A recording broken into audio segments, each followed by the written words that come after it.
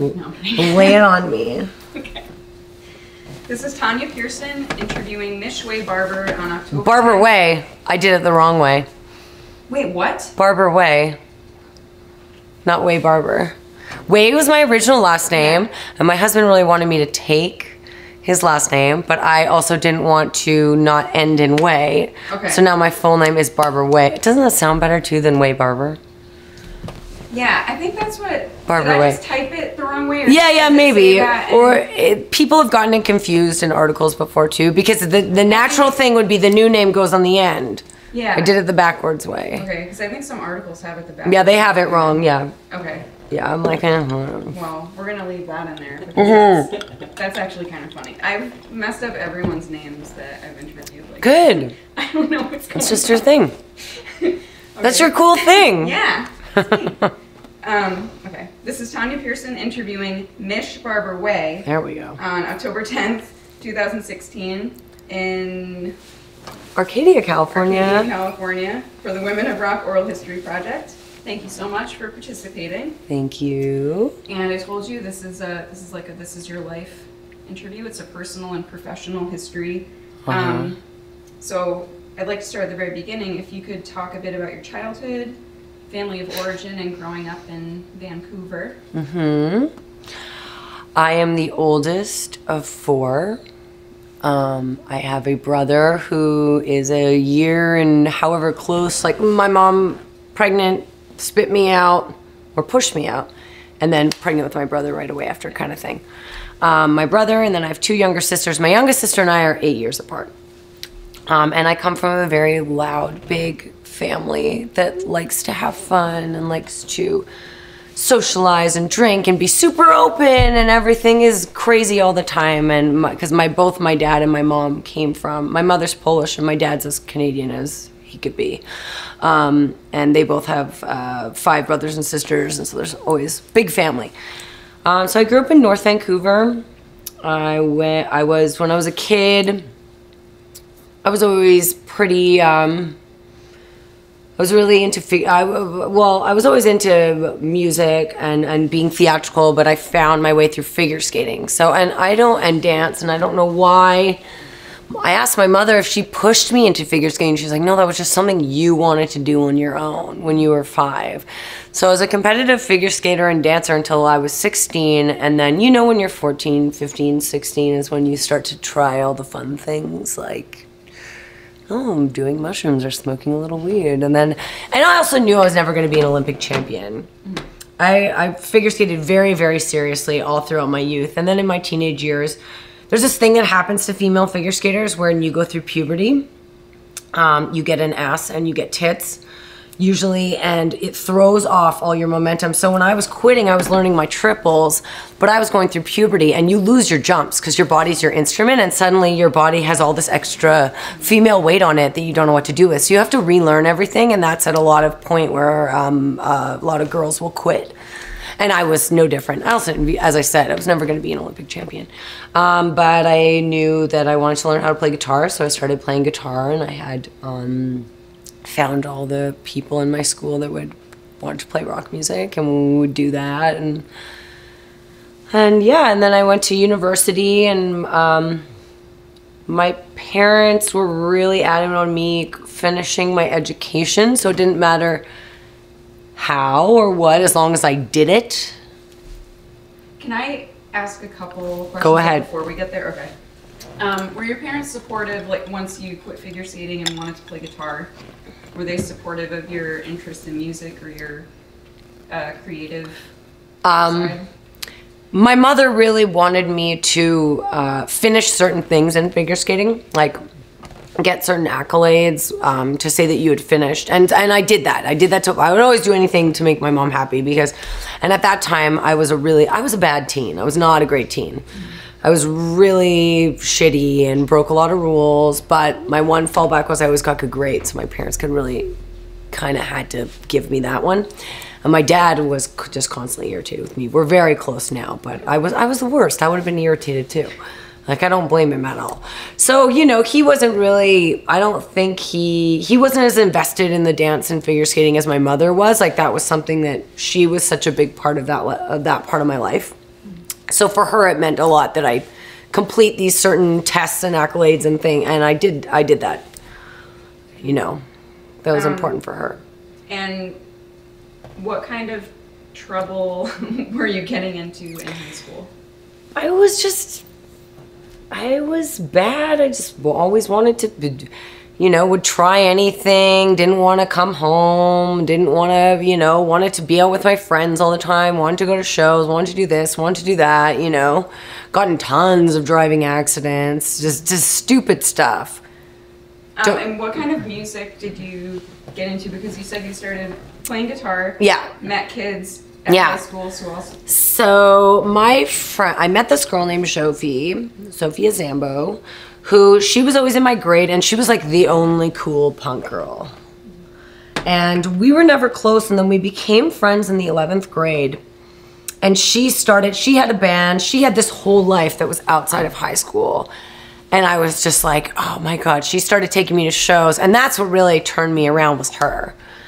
You know, she showed me, um, she would make me tapes. We, we I'd go. I think we, it all started because uh, we had to do a project together, like a school project, and we just ended up listening to music the whole time and hanging out. And, and slowly, she kind of put me here. Oh, because you know, with music, it's that thing, right? Like you don't realize this huge onion that you could unpeel and all these possibilities and, and how much you love it until but someone's got to show you Yeah. they have to give you the gateway drug to get to the really good stuff you know and that's kind of what she did um but yeah and so, and so going to shows and having this friend who brought you there, that gave you some kind of direction, so you weren't just Yeah. into trouble and Well, and it was also yeah, like that became a new thing, and it was also um, it gave me something to aspire to and get excited about, and and I was I got when I started playing guitar, I got really really into it, and I would sit in. I remember like sitting in my room. I had this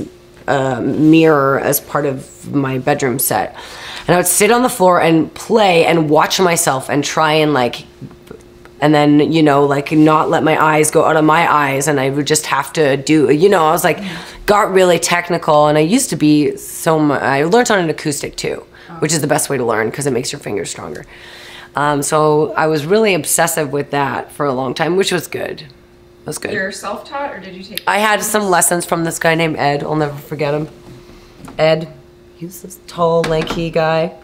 Was he like one of those 80s rock rock guys He no, he was more like aspiring. His band kind of sounded more like a aspiring Nickelbacky kind of vibe. I remember when I looked it up years Yeah. later, but he was really nice, and he was all very like technically trained and classically trained. But I don't know why he thought he wanted to play that kind of music. but um, but he was really nice.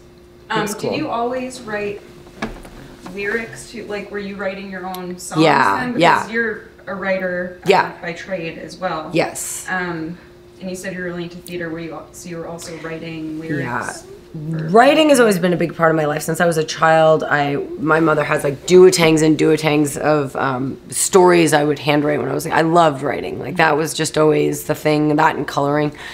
Um, but with lyric, whenever I would listen to music when I was young, and I still do this, like the lyrics are the most important part to me. I want to know exactly what the person is saying, just especially if it's a really impactful song. And and I would just, you know, whenever I buy a CD or a tape or whatever, would be reading, like dying to know exactly what they talked about or what they were saying, and um, paid a lot of attention to lyrics.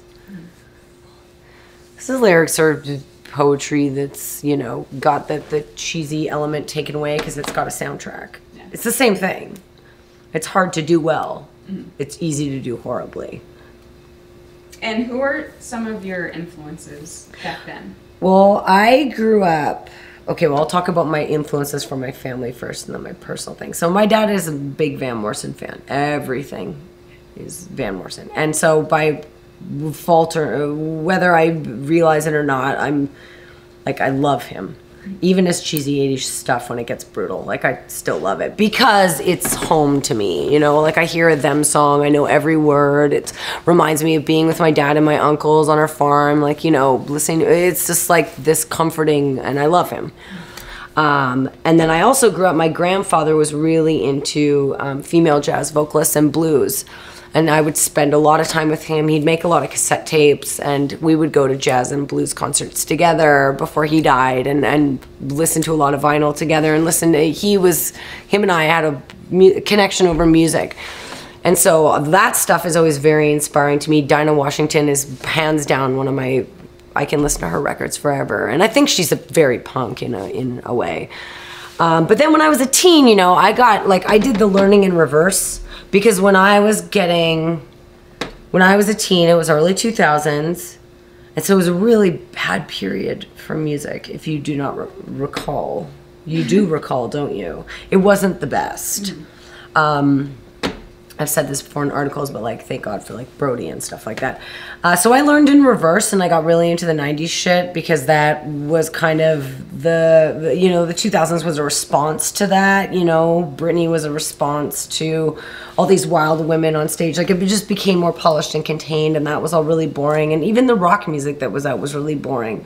I can't. I was never dying over the pop punky. It's never been my bag um, I can appreciate it, but it's not my thing. And so I got really into like Babes in Toyland, L7, whole that whole genre because obviously when you're 16 and you're trying to figure out what the hell you're doing and how to be a woman and you hear these people screaming about those exact things with so much force and vulnerability and and weirdly confidence at the same time you can't help but be attracted to that like I get the same joy listening to Danzig or the replacements or whatever, but there's a different nostalgia and joy I feel listening to Kat Bjelland or Courtney Love or, or you know, like Je- Jennifer Finch, even in a funny L- L7 interview or something like that. So I got, and the Breeders too, I love the Breeders, but I got into all that, that whole category, um, because uh, when you're a teen, you need, you need the identity politics when you're a teenager. Yeah. Because you're so, um,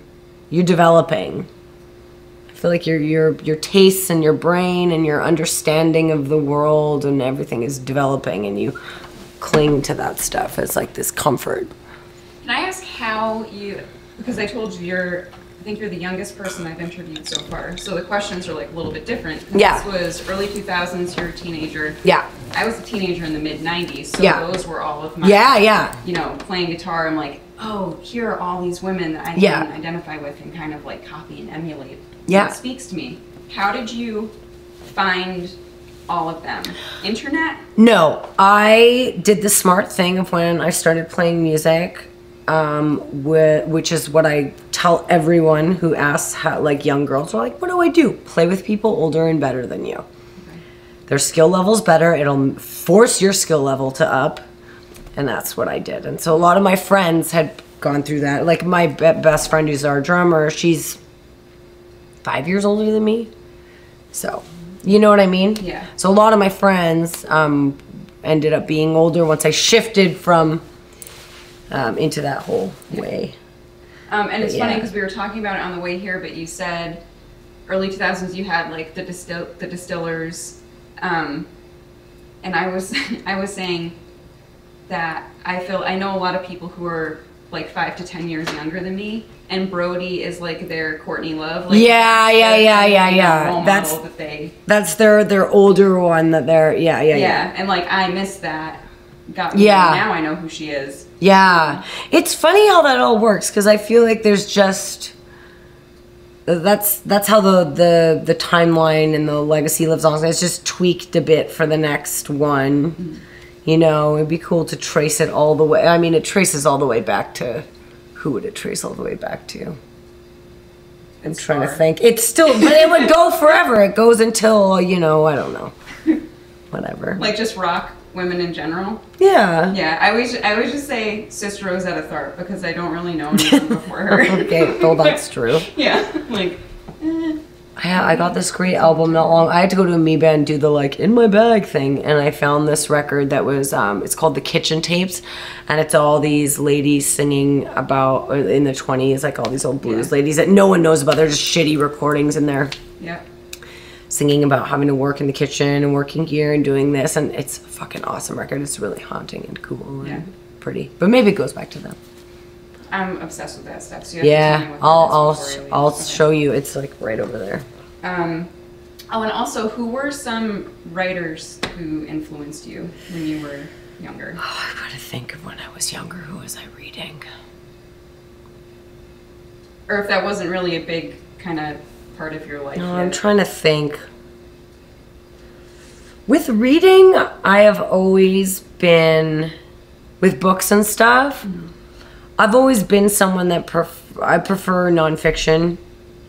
So for me, you know, reading stuff that I would have read in school or, or you know, reading one article in time and then looking up that oh that writer wrote for this and then finding all their other stuff. Like I've always kind of just done that and and read um, nonfiction stuff.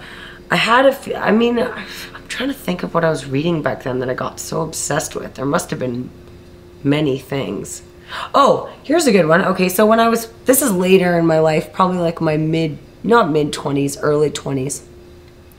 And she's, I actually ended up working for her, but Tracie, who, uh, Tracie Egan Morrissey, who's originally started Broadly, she used to have this blog called 1D at a Time. And she wrote under this alias called Slut Machine and she wrote and this was like before this is when people were still using livejournal and things like that i believe. It wasn't a big thing. And i think it was just a blog spot and i remember finding her that um, that blog through a friend of mine who showed it to me and i was just obsessed with it. So it was really fun she just wrote about her you know sex and her life and it was super refreshing and weird and she, it was kind of the, the, the confessional thing that's so ever so popular now and is driving the literary market but she was kind of doing it to begin with and then she ended up being the one that started broadly um, Vice's female site that I worked for for a while, and so I, you know, she called me up and like offered me a job, and for me, as when I used to read that, and I was like, my giddy little full circle. But I was really into that. That was, and I'm trying to think of like, I was when the internet was first. We were all like getting computers, and or you were getting like laptops and stuff in school. I'm trying to think. It's so hard to dig back that far. Yeah. Well, maybe things will come up like Yeah, yeah, yeah, something will up come. again. Um, okay, but you said so. You graduated high school, and your family expected you to, To go continue. to college or go to yeah. university. So I got um, accepted to uh, a few universities, but one was on the island uh, of Vancouver, Victoria, um, the University of Victoria, and I got into this creative writing program there. So I went. And I did not want to move there. It's just kind of like um, a step down from Vancouver uh, in the smaller city. Um, but I wanted to, you know, like get, I moved out when I was really young, so I just was, this is a place I can go. I can do this. Um, I so I did the creative writing program. I was quickly, um, I shunned myself out of it. I had a couple really uh, prof- professors that were really um, pushed me away from wanting to do writing in that way. And then I took a few philosophy courses and this course in feminist philosophy. And of course, again, coming back to identity politics, when you're young and you're moldable and you're, wow, this is uh, like, this makes sense to me. Of course it does, dummy. You're a woman. This is this they're talking about you. So that's what I, I ended up switching over with to study. And I don't regret it at all. But I did, I mean, I wish I had pursued criminology instead.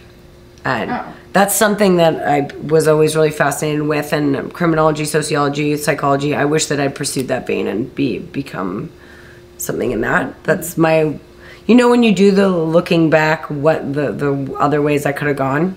yeah. I used my education. I mean, I worked.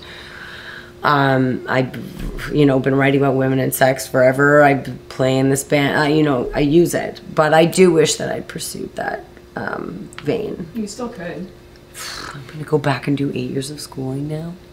You could. We'll talk about that. After Yeah, that. that's that. I mean, there's other things I would like to do, but yeah, that's Yeah. the other scary thing. That where you feel like you have that one chance. So I did that school. Um, um, I was in Victoria. I was in love with my first boyfriend who lived in Vancouver and was this pro skateboarder. We had a band together, and um, Oh wait, what was your what was the band? It was it was called La Sauterelle, which is the grasshopper in French. It was named after my family farm because we couldn't think of anything. Um, so I had a little like dorky band when I was in Victoria. We never did anything. We just played. It was just you know three of my friends trying to play together. But I was really depressed in Victoria. Um, I also had mono for about five months and didn't know it was Super Wayne's World, and then figured it out. Um, but I thought I was really depressed and bummed out being there, and I, I think I part of me was. Um, so I finished my year again to please the parents took a year off and just worked and saved money and then enrolled in a university in Vancouver, Simon Fraser University, which was less of a communal, everyone let's play frolf and go to these massive school events and get involved. And it was more a school where you go to school and you go home, which is what I wanted. I had my own social life. You know, those, I mean, I don't know how university is very different here. But Yeah, that's it's a little more pushy college. like that. And I was like, uh, no, I just want to go and go home. Yeah. I don't want to be involved. Thank you. You know? Um, were you still doing music while you were in school? Or No, I started White Lung. White Lung's my first real band. Oh, okay.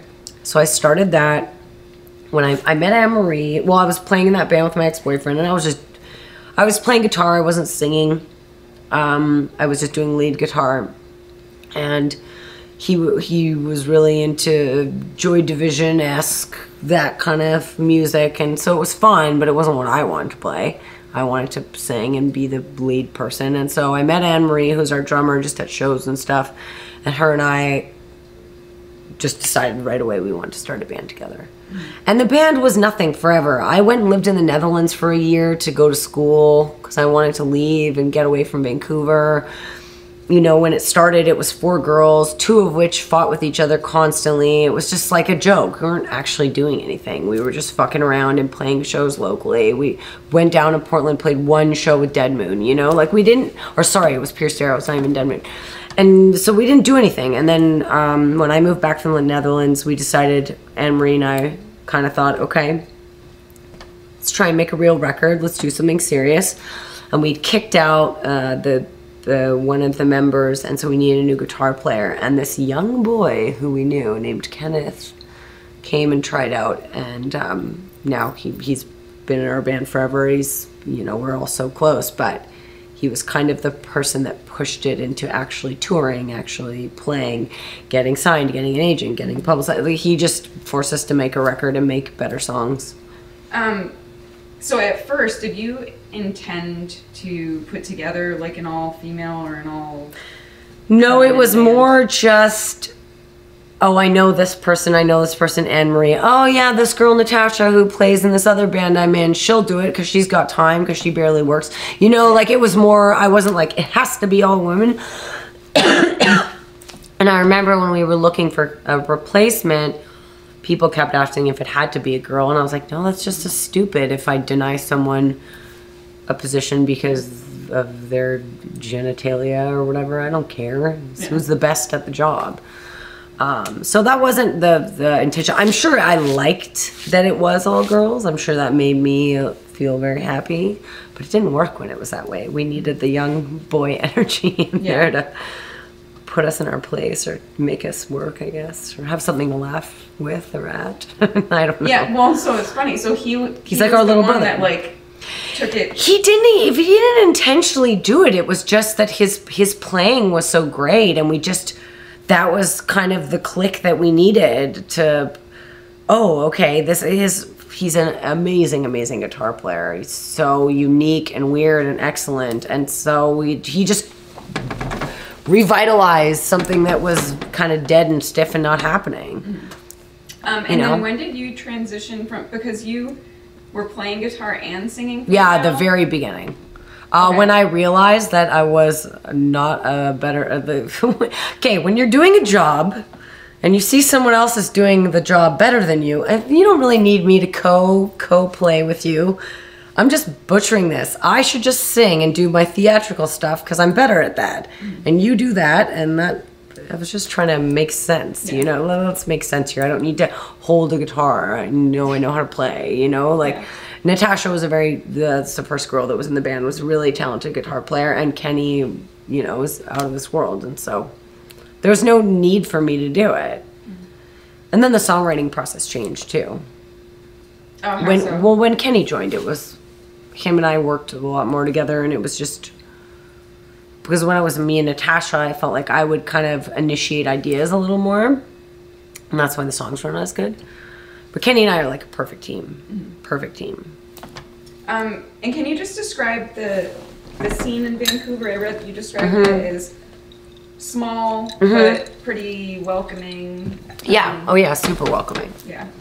Um, at the time that we started too, there was a lot of stuff going on for punk, and whether we considered ourselves punk or rock or whatever, we um, there was just all these under underground illegal spaces to play at. It was kind of like this weird. Um, utopia for that. There was the emergency room, there was the peanut gallery, there was what was the other there was so many I can't remember all the names. They're all shut down now. But that's kind of how Vancouver works because the city's really strict with um, your cabaret licenses, your actual permits.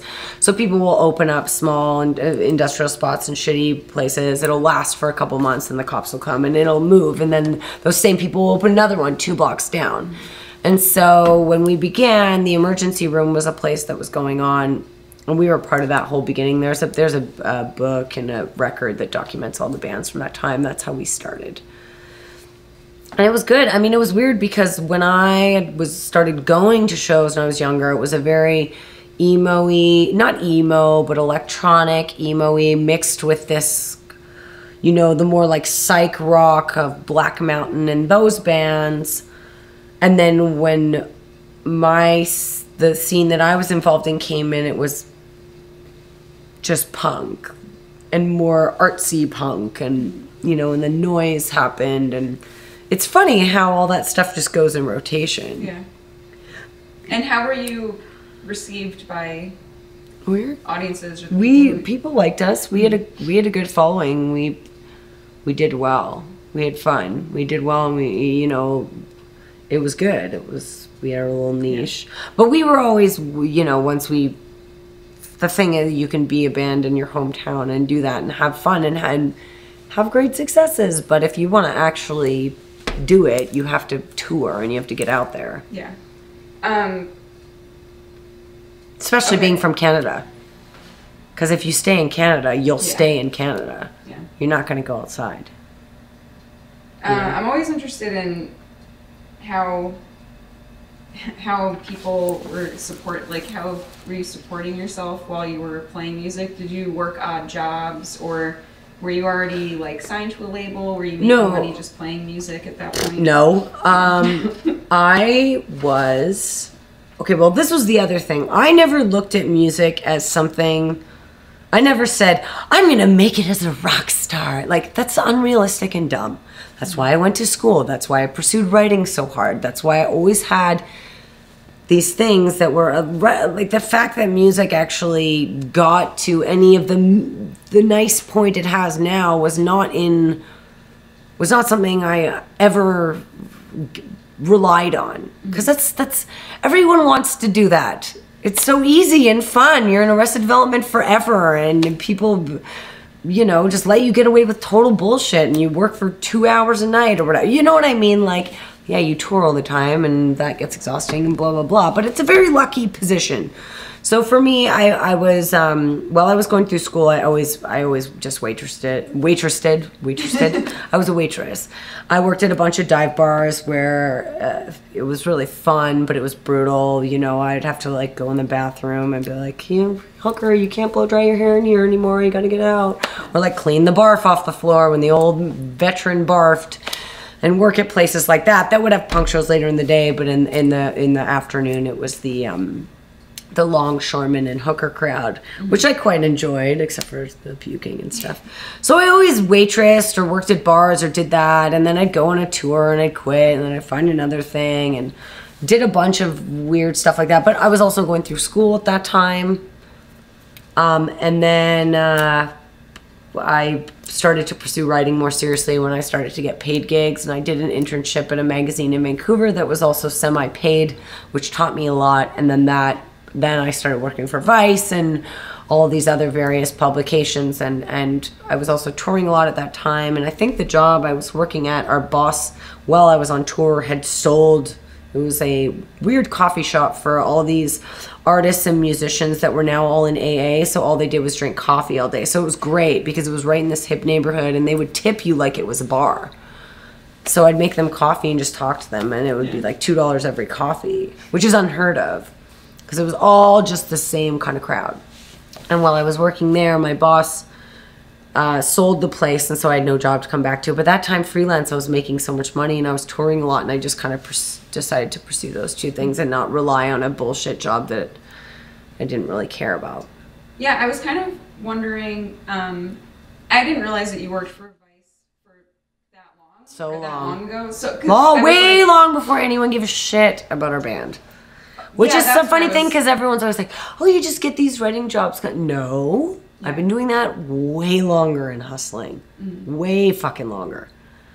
You Mm-hmm. And know, you were already you were like making money doing that. Yeah. rely on that. yeah, yeah. And then I had a bunch of weird, like, you know, I did a lot of um, local stuff, and um, I would do uh, the best stuff is like, you know, doing copy for Red Bull and things like, or Nasty Gal. I would do a lot of that stuff, which was good because it's, you know, brand stuff. Do you think writing for Vice helped?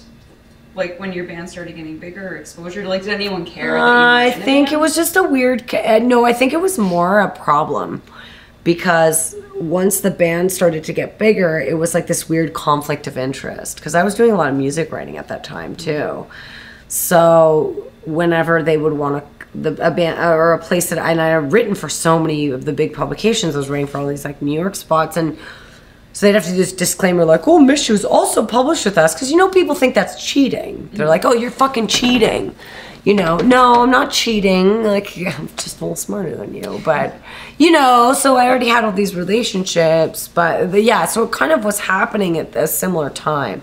So then I got really self conscious of that, and I was like, "Okay, I'm not. I'm not gonna do music writing anymore unless it's special for someone." who really wants me to do it because it did it it felt too close to home. It felt like a conflict of interest when the band really started to be the primary focus of my life. Mm-hmm. And i got too busy to do too much writing. And can you talk about that time period when the band started to become the main focus? Was that when you recorded your first album? no. Okay so when we made this album called sorry which is the most canadian title of all time which we didn't realize till Oh, later. wasn't on purpose. no. We why it's our drummer always names the titles. She'll normally now she'll read all my lyrics and she'll decide something. But at the time we we could only come up with 10 songs. She was like sorry that's all we have sorry. And so we just decided to call it sorry. It's like this kind of joke. But then later i was like fuck that's so canadian. Should have wrote it like Sawi. Anyways, um, that was a time I remember we were doing all these crazy punk tours. I had sublet my place. I was working this, horrible job that I hated. I think I was like living with my boyfriend at the time because I'd sublet my apartment. It just, and just with music, I was like, ah, no, I'm gonna quit and I'm gonna focus on writing full time. This is ridiculous. And I was saying that to my friend Sasha, who was my editor at Noisey at the time, who's one of my very closest friends. And she remembers me saying this and me being like, ugh, I don't like, I'm just gonna do it for fun. Like, I can't be going on these long tours. And then that album, everything kind of changed. And so I had to sort of follow that. And that's when the maneuvering of the two really kicked in. Um, and then, yeah, it became more music oriented after that with the next album. Because that's when we got Publicist, a label. We signed with Domino a year and a half later. And, you know, Deep Fantasy, which was the first record we did for them, was the one that really made the change. That's Yeah, I husband. read. Um, I didn't know this, but that was one of the Rolling Stones. Sorry, honey. Hello. Hi. That's my husband. Is it eight? Maybe he's home early. Oh, okay. Don't worry. Okay. You can cut that out. He's not no, gonna cry. No, we'll leave it. He can come sit on my lap. okay, the red you read in Rolling Stone thing. Oh, that Deep Fantasy was like one of the top 40 punk albums Yeah. of all time. It wasn't just that Very year. nice Yeah. thing of them to do. Yeah. They didn't. Um, yeah, that was that was nice. And what kind of like what was your Rolling Stones has been touring nice to us. schedule like? And Deep Fantasy was a big tour schedule. Um, we that's when we you know we went to Japan, we did Australia, and New Zealand, we went to Europe tw- twice, went to England a lot. We did a lot of them, and I was constantly on tour. and before that, we had done a lot of touring, but it wasn't the same kind of touring. There was no hotels in touring before. It was like slumming it on people's floors and three dollars a day diet, and that's when it changed because we were getting paid properly. We were, there was a little bit more of an interest, and it's just that little slow grow. But for me, I know that the way the industry works now, I think I'll remain consistent of where we're at now, which is comfortable. Um, but you know, I'm also I have other things I'd like to do with my life, like have a family and things like that, and still figuring out how those things can coincide with this way of living. Yeah. Because it gets a bit like I don't, you know, with touring you do it, and once you've kind of seen it, you've seen it, Yeah. and it's great. But yeah, it's a weird thing. Um, But that was yeah, that was fun when we like first started doing all that. It was awesome. yeah. And then it gets kind of old. I mean, touring sounds. doesn't get old. It's more, it's a young man's game, and also, I mean, I don't want to share a, a hotel room with Kenny. I want to share a hotel room with my husband. You know, and that's the other thing too. It's once you and I've been away so much, and I like my home. I want to be here, and so having to leave all the time gets a little. I think I have like little stress panic attacks every time. But then I have to remind myself that I'm very lucky to do the two things I like to do for a living. So, but that's kind of what it is now. I feel like we're all little entrepreneurs and just do it our own way and figure it out, right? We're not all stuck to. We're all gonna be fucked when we're 80. we're going to be fucked. I because in Canada we have like RSPs and things like that, and I was trying to look because I had to start my whole financial career again in America. Like I, you start your credit from scratch, everything when you immigrate. Um, and now I've been obsessed with trying to figure out pensions and all this stuff. Yeah. My husband's very lives like, oh, what if I die tomorrow? And I live more like, what are we gonna do when we're eighty? You know, so it's a good balance. It's a good mix, It is a good balance. Yeah. No, I'm, I'm very like crazy about that kind of stuff. Yeah. hmm Anyways, back to rock. Okay. Yeah. No. No. No. But I mean, those. I just don't want to skip too far ahead. Yeah, yeah, yeah. But, Go ahead. Um, it sounds like you have a pretty good relationship with your bandmates. Um, Yeah. And did that change once you were kind of more in the music business and were signed and were touring a lot, or Um, like, did the band dynamics change at all? Well, yeah, big time. Our original bass player we had since the beginning. We kicked her out right before we signed because there was so much tension. She didn't get along with anyone and she was unhappy whether she wants to admit that or not. Like Kenny and Anne Marie and myself were friends and there was just so much tension with her. And it got to the I, I toured I played bass in my friend Louise uh, for my friend Louise on one of her tours. She did a small West Coast tour, and I was like, "Oh, I'll play bass for you. It'll be fun." And I realized that I had more fun touring a week with her and two guys I never knew than with my own band, but not because of two of my bandmates, because of one. And I was like, "Look, if we're gonna sign and do all this stuff, like I can't write music with this person anymore." And everyone kind of felt the same way. So once we kicked her out, which was painful and brutal, and we had to pay her a lot of money because she decided to take legal action like a it's very crazy. Um, but that made everything a lot better because the, the band is Anne Marie and Kenny and myself. We write and then we just uh, have touring bass players. And we've had like friends fill in and stuff. Um, right now we have an old friend from Vancouver doing it, but having that writing dynamic change was really uh, helped our songwriting um, we also work very separately. Everyone knows their roles. Like this last album, we did it here in LA. It took us a month and a bit, but I didn't see Kenny for three of the five weeks, you know, because I was, we were doing stuff on our own. We trust one another, and it's a very weird process, but it works for us. So that changed a lot of stuff. And then it became, as much as it is a dysfunctional family, a business relationship because you know, okay, we got to do this, this, this, and this. It's a weird thing being in a band. And do you feel like it's very important to be? I don't really know how much of the music industry or the music business exists anymore. Um, but how involved are you in it in like the Yeah. financial aspect or Kenny handles most of our finances. I mean, well, okay, so we've had we were always the band that didn't have a manager and refused. We tried one for a bit. It didn't work for us because we've done everything on our own. All you need now is a really good publicist and a really good booking agent. Mm-hmm. That's it. I mean, and it's great to have label support. Domino is they've been so amazing and supportive to us considering we are you know, that we're in this catalog of all these great huge people, but um that's what's important. Everyone will tell you something different. It's all how you want it to work for you. I've had, you know, so many friends who have managed their whole careers without management. And then there's other people that say you have to have it and things like that. But I'm Kenny's is I'm pretty involved, but I'm not as much on the Kenny's more organized and mathematical than I am, so he handles a lot of that stuff. Um, and I do have, I have a couple questions about you as like a performer and a, a lyricist. Um, but, you know, some of the descriptors that I read in album and live reviews, uh, you know, it says you're uh, a front woman, feminist, uh, you know, confrontational, powerful stage presence. I, I Yeah. read those descriptors a lot. And I'm wondering, um, when you're on stage, are you performing or is that yourself? Is it like part persona? Um, yeah, I think I.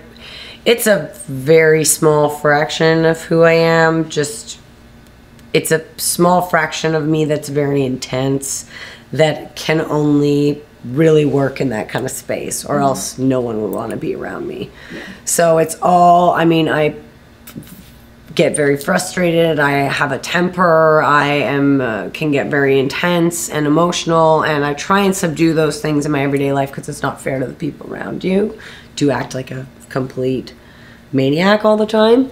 And as I get older, those things subdue. But that's um, yeah. I feel like my state, the time on stage, which I value very much and love, because this is one time where I can actually express those things, and instead of people going, uh, you're crazy. They're like, more, more.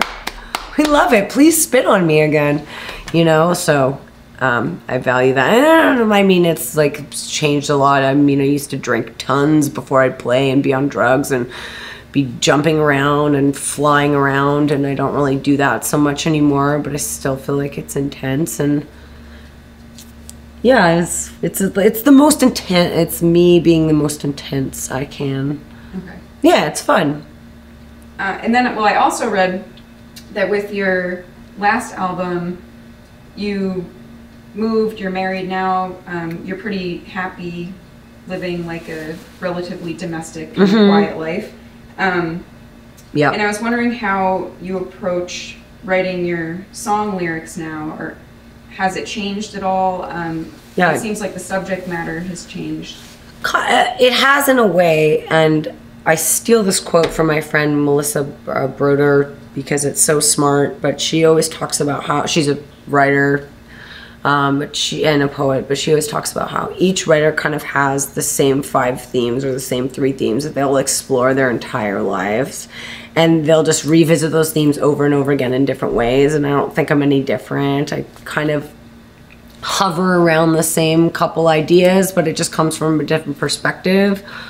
I think this last album was a little more self or a little less selfish and poor me and all that kind of stuff and complaining about my life and and feeling hopeless and sad. There was a lot um, more contentment to it, and I also wanted to sing from perspectives that weren't my own and just kind of imagining myself as in, in this other situation and how I would write about that. And fiction was really freeing in that way. Um, because I could say things that I couldn't say as myself. Because everyone assumes lyrics are autobiographical, but a lot of times, of course, they're not. You also you don't want to reveal everything about yourself. You know, you need to save some things. And for me, because I care so much about lyrics, I think about that person that actually does. I'm sure 99% of the people don't. They just care about moshing around or whatever. But, you know, and I'll get like messages or emails from people who will talk to me about that stuff, and it feels good. But lyrics are always very important to me. And so, yeah, they've changed in that last album for sure. It's a reflection of what's changed in my life. Yeah. Just not angry too. I'm still angry, but I'm not not about my own stuff. Uh, and I read an interview that you did with Annie Clark Sampson. I think you posted on your website. I think. Yeah, that was our instead of doing a regular flowery bio, which are boring, and I've had to write nine million of them for my friends. I was like, why don't we just get someone to interview us about the record, and that will be the bio. And I was like, oh, Annie would be perfect because she can geek out about guitar stuff with Kenny, and she's a fan of the band, and Yeah. obviously she's said yes. That's why it exists. But yeah, But I loved when you were talking about uh, how your latest album, um, Paradise, you wanted it to be accessible. and Yeah. You approached it in like a totally different way, and just how that always seems to um, rub, you know, punk fans the the wrong way because you are still described as a punk band. Um, and just yeah, like your just any of your thoughts or feelings about well, punk music. Do you kind of like resent being categorized as punk be, as punk because being punk implies that Yeah, kind of in this weird way because we never walked around calling ourselves that. Also, as I said earlier when I was talking about Vancouver, those were the places that were welcoming for us to play. So we were punk, not. b- b- th- Those were our friends. That was where we could play. We weren't like, we're, you know, not some fucking hardcore crusty who's gonna get mad if you're wearing labels and don't wash yourself with hemp or whatever fucking bullshit, veganism and all that. That's not the punk protocol of that total far end was never something that we were about and I think we just got punks are the most stuck up about rules. They are the most stuck up about rules. For all their like no rules, they're very into the rules. You can disappoint them very fast. And no one in my band has ever cared about that and has always just been excited about the music, playing it, listening to it. We like what we like. You know, who cares? yeah Isn't that supposed to be the attitude of punk? Who cares? And yeah, so I do have like a little bit of resentment for that, but I also don't. I think that anyone that would have been mad about the last record's change is kind of an imbecile. And also, if you don't like it, there's all the other albums. We didn't delete them. You don't make a new album and then the old one deletes and you can never hear it again. Go listen to that stuff. You don't have to like the new one. That's fine. I need to move on now. Yeah. I'm bored. I don't care if you're bored. There again, it's right there. Do you think part of be of your band being categorized as punk is that you're kind of an outspoken, like aggressive Yeah. front person? And it's loud. It's Yeah. it's pop music at the speed of hardcore. That's what it is. If you slowed listening to any of our records at 33, it sounds like a dude singing kind of well, still pretty fast for rock songs. You know, and the, the- it's very melodic. It's very uh, um, hook driven. It's that's that's all there in the core, and it's just shielded with all Kenny's weird guitar pedals and the, the and it's the performance too. The the performance is fast and short and aggressive, which is a you know that that's more of a punk performance than anything else. But again, it's because of the scene we grew up in. It's it's once someone calls you a label, you know, everyone calling me like a feminist punk. I mean, I'm a feminist, but a lot of people don't agree with my brand of feminism, and that's what uh, you know. That's fine. Yeah. Um, so it's just I understand the necessity of labels, and I don't get mad at them at all because I think, you know, they make life easier. I guess in some ways, you can't get mad about that kind of stuff. It's kind of pointless. Um, well, I actually wanted to, I don't know what I wanted to ask you about your brand of feminism, but I, I just have like, ask her about feminism. because I read a lot, you, um, you refer to Camille Paglia a lot, who, She's my favorite. yeah, I don't think, or where I'm from anyway. um, You don't like her? She's not one of the favorites. Everyone hates Anymore? her. She's my favorite. Yeah, I think like her her brand is not necessarily popular, but I really like how you talk about um, like kind of the blanket PC ness that doesn't allow for um, conversations about Yeah, because you can't say it that's that's offensive, or you can't question. I'm I'm I I miss the time when you could ask questions without getting in trouble. When curiosity wasn't offending someone and stuff like that. But with feminism, I think that I mean this is what I was saying. This is what I studied. I spent a lot of. I was studying it when my grandmother was telling me. My grandmother, who was like a very successful female lawyer, who goes, "Ah, that stuff's stupid. Why are you taking that?" Do you know what I mean? Like it was, you know. And now I feel like, um, I think there there's a lot of people that d- don't fully get it, and are very um, there's just a lot of man hatred in it right now that's unnecessary that really makes me bummed out. Um, i thought that the goal was i mean i don't think equality is uh, something that's ever going to fully happen. We wouldn't want a utopia. We'd be bored. Um, but i think that there's again, it's like taking identity politics so far that you can't even discuss anything with anyone else or, or talk to anyone else. And I think there's a younger generation that's gotten all their information about feminism from Tumblr or Twitter or memes instead of actually reading something and, and or reading. Also, when did reading something that you don't agree with become a no-no. Like you're supposed to read stuff, like try and figure out new stuff and compare and contrast and discuss it and talk about it. I mean, that's what I loved about doing feminist philosophy. We'd sit there and debate things over and over again, and I feel like that has been lost because it's just shut down with this this cold social media fist that's like if you continue this also this is, has to do with the fact that every argument that happens now is through the the the um, what would you call it? Like the screen of social media. So all these arguments are documented whether it's three teenagers fighting in wherever the hell three different places or or public figures fighting about this. There's no I just feel like there's a lot of policing now, and a lot of it is necessary, and there there is a lot of necessary um, self policing that should happen with certain things, but with other things, no.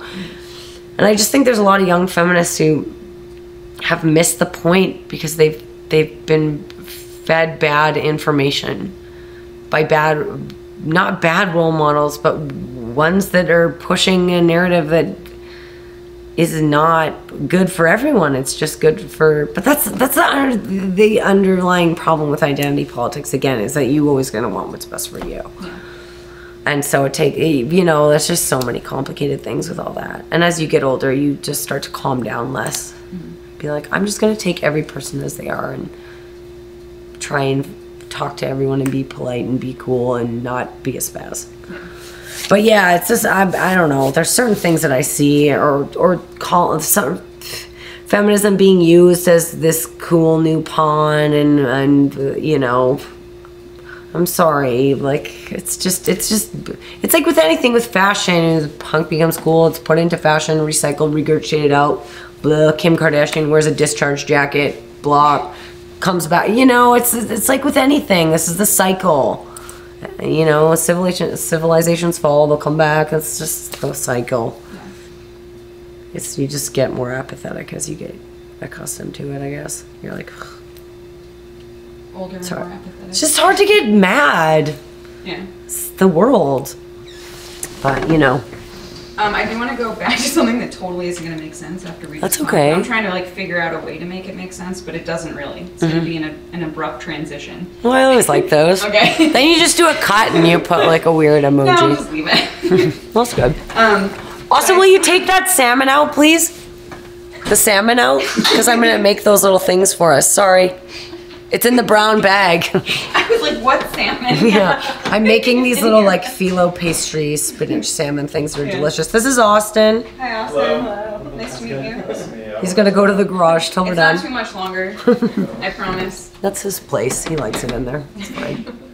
Um, I did want to ask you about when I was talking about your feminism and you, your persona as a, a front a front person of your band. Uh-huh. Uh, there's a video of you during a performance kicking a guy out of your concert yeah. for calling you a cunt, and you yeah. did it all while continuing to sing. Yeah. And I'm one. That's I, called being on a lot of tequila and drugs. Oh, that's it. Okay. it's horrible. Like, wow, we hadn't. We arrived at like midnight. It was a. We were playing with Power Trip. It was a long thing. To be honest, I thought that guy was going like this to me and yelling "cunt, cunt, cunt" at me And apparently, he w- later his friend had sent me some messages or tried to get in touch with me on Twitter saying, "I think you misunderstood. He wasn't trying to yell at you." To which I felt really bad, but who knows what was true. Yeah. Um, that was rare, and I hate that that was caught on video. Because at that same time, we'd gotten arrested in North Carolina, so there was all this stuff going on, and then that happened, and I was like, "Oh, get it away." Um, and then my my husband, who's not very internet savvy, was trying to pause the YouTube video to figure out who the guy was, to find one of his friends in New York to beat him up. I was like, I don't think that's how it's going to work, but okay. Um, yeah, that was dumb. Uh, yeah, but I, I just went off and was probably unfair. Who knows if he was really being rude. I can't remember. That was a really long year. Oh, okay. really. Well, if it never But yeah, happened, then it did happen. I did punch him multiple times and Yeah, rip yeah. his necklace and pull off his shirt, and uh, all that happened and kicked him out. But his friend tried to say to me later that he, I think I misunderstood him. But Yeah. I, it's hard to misunderstand this. But he also could have been really excited because it was a power trip show. I was just hanging by a very thin little thread. Yeah. And he just basically went, yeah. and it, I went bananas. So that was unfair. Okay. But yeah, but um, I, I rarely have had bad instances. Our crowds are always awesome and really supportive. And if they're being aggressive, it's because I've antagonized it, like spitting water or jumping in the crowd. Everyone's ever always just there to have fun.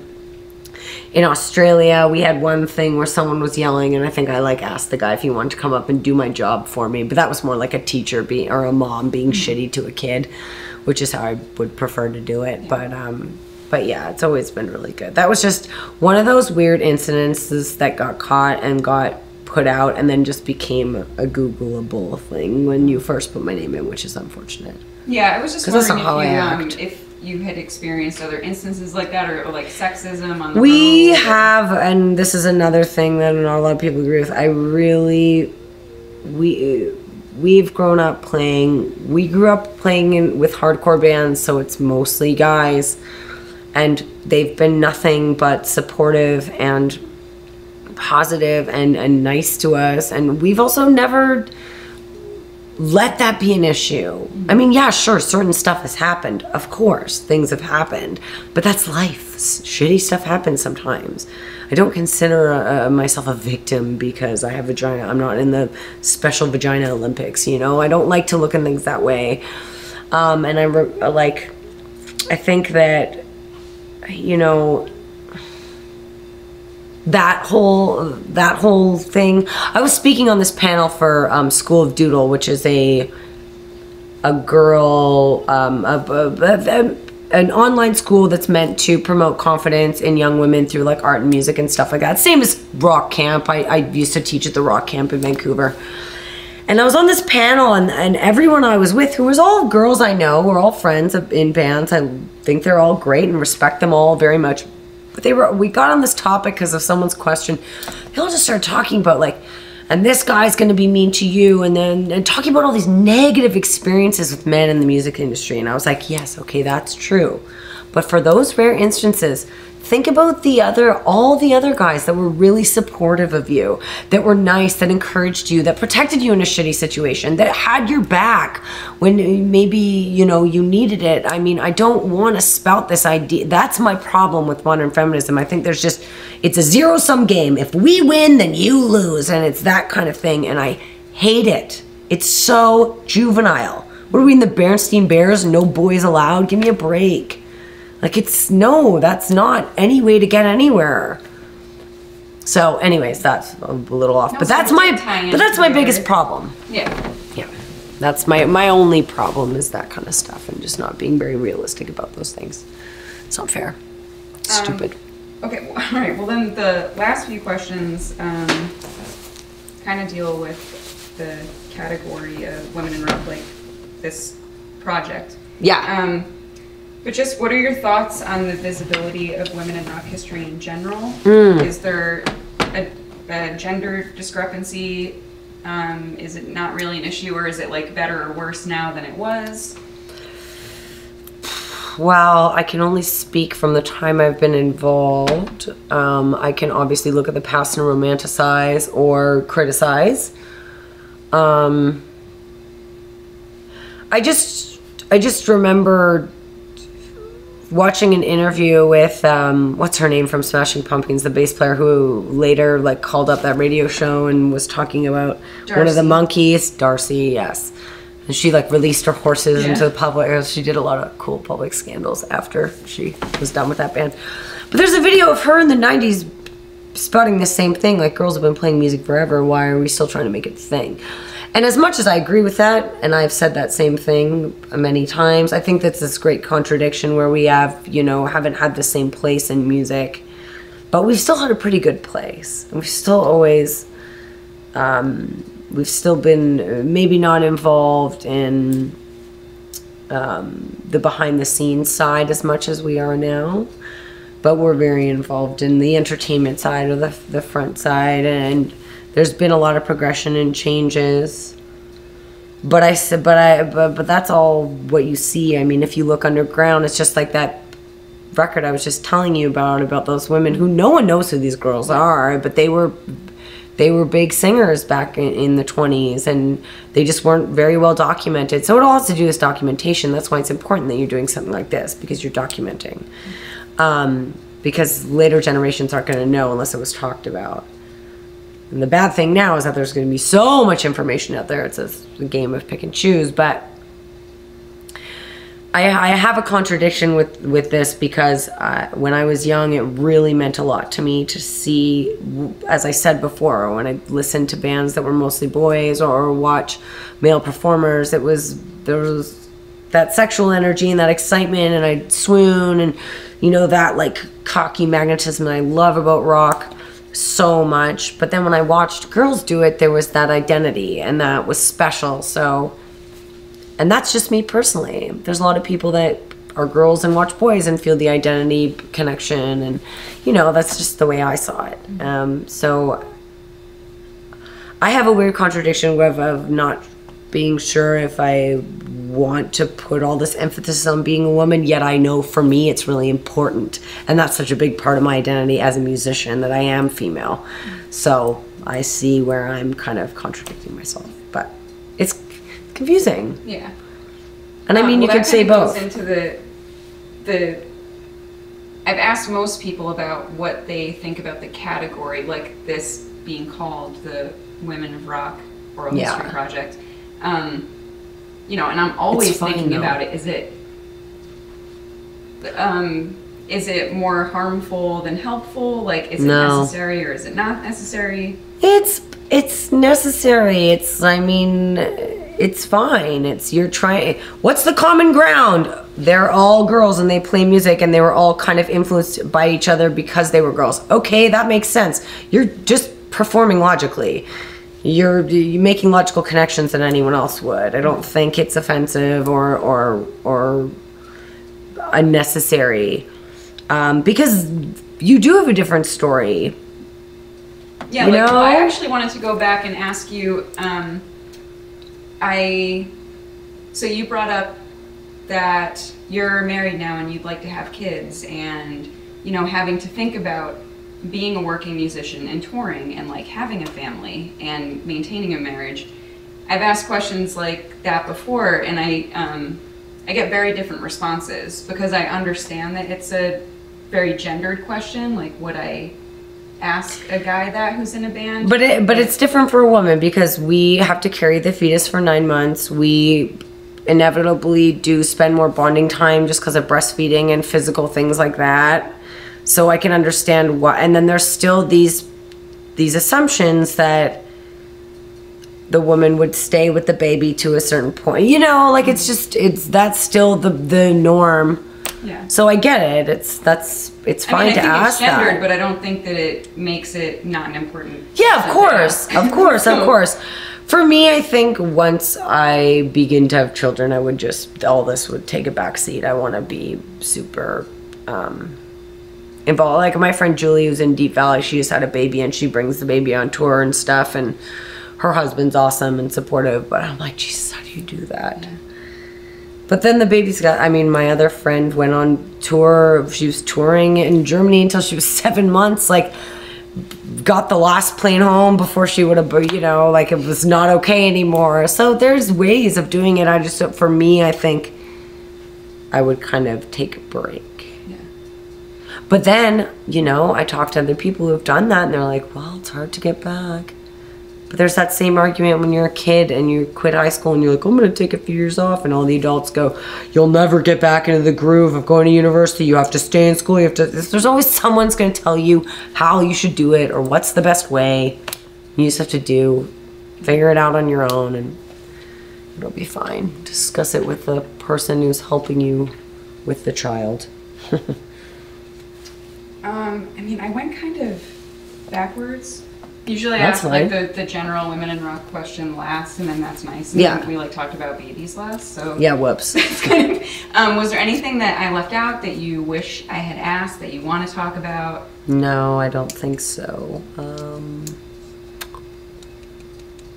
no. I mean, if not, it's fine. No, I think we're this good. was great. It's Yeah. hard because then once you lose your train, like I can think back that there was something I wanted to say, but now it's gone. So Yeah, I mean, I think I got everything. yeah, I- you asked lots. Thank you. Yeah, thank you so much. We did it.